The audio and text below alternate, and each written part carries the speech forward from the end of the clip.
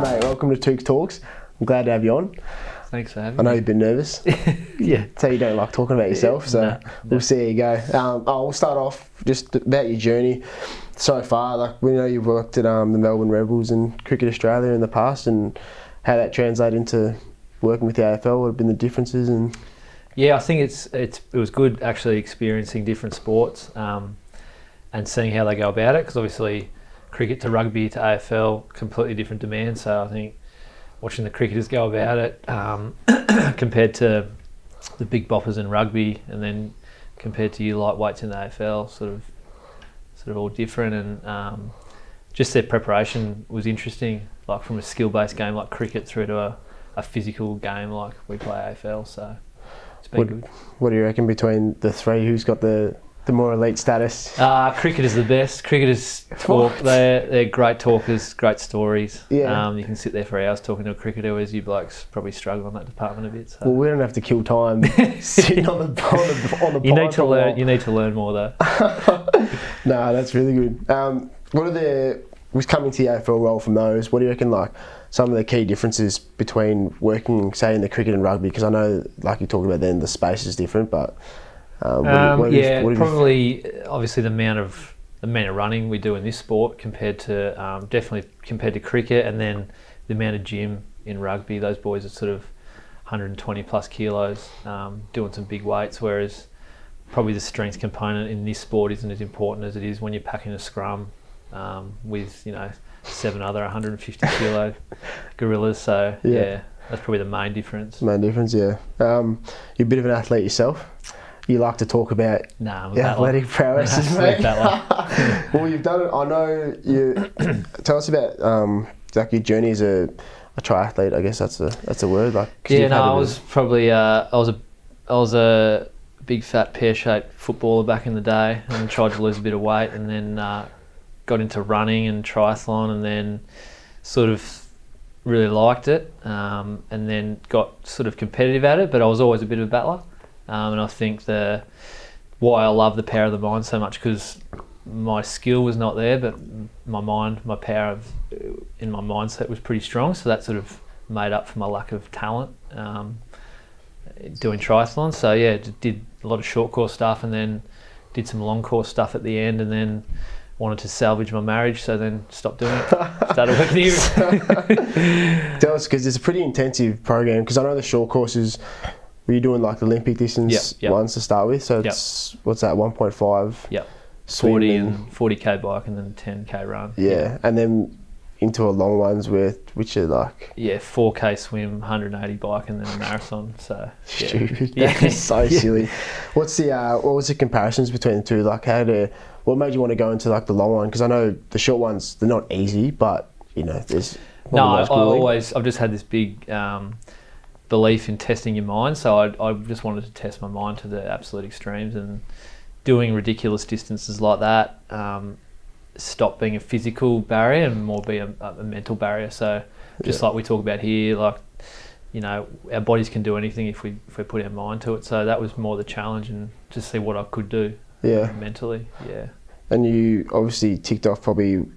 Well, I know it's on my bucket list, but um, to do a Hawaiian Ironman, Yep. you finished that. Actually, you actually told me earlier. I didn't realise you had to qualify for the Yeah, Hawaiian gotta- Ironman as well. But yeah, yeah, yeah. So you got a knock off too. So tell us about tell us about that. Yeah, I qualified in Port Macquarie, which is um, Australian Ironman, and uh, you had to. It's pretty tough qualifying actually when you're in the younger age groups. Um, and yeah, managed to get a spot, and then you sort of have to take the spot straight after the race. So after going through nine hours of hell, you have to actually confirm and submit another one um, a couple of months later. So did that. Um, and yeah, unbelievable experience. One of the best experiences of my life leading up to that, and then finishing the race, and yeah, all the sacrifice that your family and your friends go through to get you there is probably the biggest pleasure out of it. Um, Yeah. To see them um, after the race is pretty cool. Yeah. Because you're putting in, you would have put in what at least a year's worth of training, like intensive training. For, Yeah, bit, bit over a year because I was trying to be, I was trying to compete at a fairly high level. So Yeah. um, I wasn't just trying to roll around in 12 hours. I was trying to have a fair crack at it. So um, yeah, a lot of time and effort. And What did you end up going around in? What was your? uh, I went around in 9:25. So Yeah, yeah. That's not, Not bad, too bad. Yeah, I, That's not bad. I had, a. I had a pretty poor run in the end, which was yeah, understandable in those conditions. But I wanted to do a little bit better. But yeah. I was glad to finish. Tell us about a few. You would have had a few moments in that race, surely, because not everyone gets to go take their mind to that that area. Yeah, know- I was know a big uh, in both races. I was a big crier actually, so I just I'd cry a few times and have a few tears at a few different points and yeah, get a bit weak mentally, and then sort of give myself a few choice words and then just battle on. Um, it's amazing what your mind goes through and what your body produces at really telling times in a race like that. Like it just gets it's pretty scary. And, Yeah. um, but then yeah, you get through it, and your mind can do anything. the bike as well. I know the bike ride has. I- I've heard of it. There's the because you go through the volcanic sections. Like, Yeah.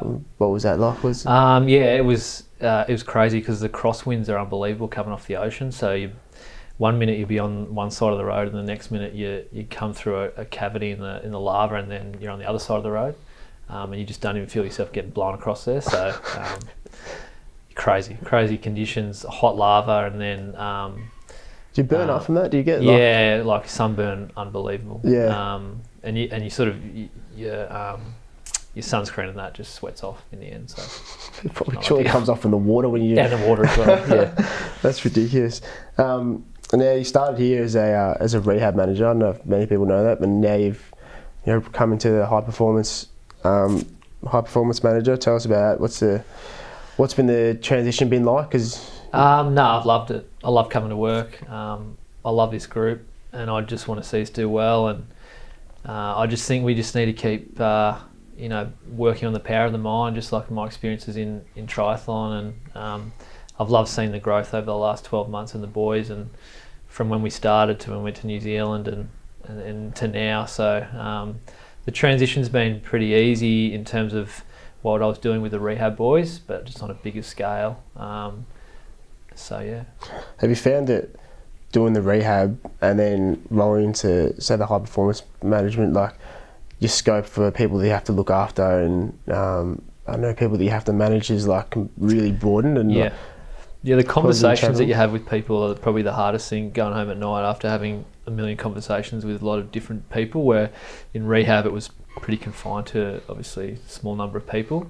Um, but in my new role, yeah, there's lots of conversations and um, lots of communication that has to be done each day to make sure that you do your job to the best you can you can do it. Yeah. Did you always want to? Did you always want to do it? Because I feel like I don't know. I didn't. When you put your hand up to do it, I know personally that wasn't like expected. And then yeah, um, yeah was it was it always something front of Yeah, mind yeah. that you wanted to get to? Yeah, I always wanted to um, try and develop and take a group of athletes um, to their extremes and yeah. make them physically and mentally stronger. So um, I always knew I had it in me, but yeah, just when the time was right, and I yeah stoked to obviously get that here. Yeah. And do you reckon like the most re- rewarding part of your job so far to date? Uh, the most rewarding part was uh, definitely finishing the run up Queenstown Hill with you boys. Yeah. Um, that's something that'll be etched in my memory. Um, and obviously got a photo of it on my desk, but yeah, to see you boys get up that hill and um, to sort of enjoy it together was cool. A really cool experience. You got a good background story for that hill though, because you well, tell us about that because I know that that hill was not just like any old hill in Queenstown because you you'd been there before. and Yeah, yeah, I've been there before and um, done a few runs up there, and uh, I knew it would be a, a big curveball for, for you boys to do at the end of uh, Arthur's Peak hike. So um, it was sort of always in the back of my mind that we could do that. But I sort of even thought, you know, would would you boys get up there? But getting back to that mental stuff, like yeah, just to see you get up there, three and a half k straight up, um, and especially when you didn't know how far I'd never told you how far it was going to be was probably the most rewarding thing to see you just keep going. Yeah. That was yeah, that was ridiculous, mate. That thing was a joke, especially the last section. Yeah, to yeah, the, yeah. That was like a, a vertical, forty-five Yeah. degree vertical. Um, and then just lastly, mate, um, some of your personal goals for going forward for the club, for yourself. Once you you know, do you see yourself in this role forevermore, or do you have other other goals you Uh, want to strive for? No, I just want to see. I'm a Gold Coaster. I grew up in Tweed. Um, I've just got a lot of passion and love for the club. Um, I've been here once before. I'm back again, and so I just want to see us do well. And I want to see, as I said, I've got a lot of love for the group. So I just want to see the group succeed and uh, I want to play a small part in that. So that's probably my the biggest passion moving forward long term. Beautiful, mate. I like it. All right. Thanks for coming on Touk's Talks. Hopefully it wasn't too bad for you, mate. Thanks, mate. no worries. Thanks, Ridge.